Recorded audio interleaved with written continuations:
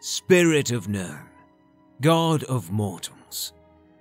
Opinions of the god Lorkhan and the origin of creation. Lorkhan is the spirit of Nirn, the god of all mortals. This does not mean all mortals necessarily like him or even know him. Most elves hate him, thinking creation as that act which sundered them from the spirit realm.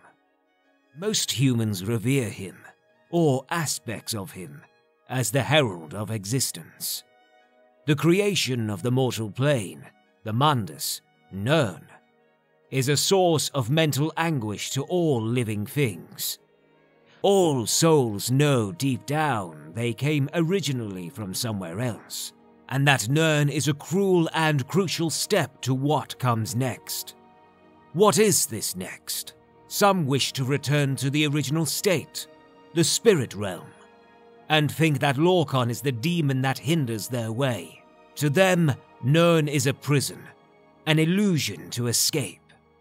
Others think that Lorkhan created the world as the testing ground for transcendence. To them, the spirit realm was already a prison, and that true escape is now finally possible.